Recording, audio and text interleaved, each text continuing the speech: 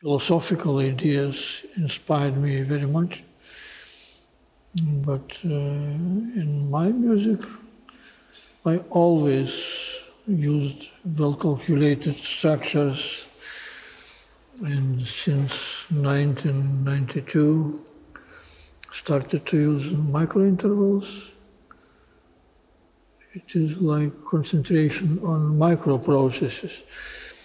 And of course, I should confirm that all those pieces are similar in some sense.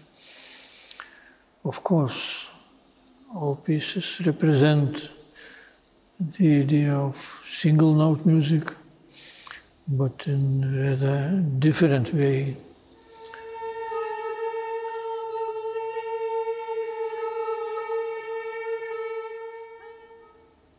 And I compared position of composer somewhere between a poet and an engineer, because probably we always need some poetic inspiration to get to transcendency and to, to see un, invisible moments or something like this. But we need also very rational task, many scientific moments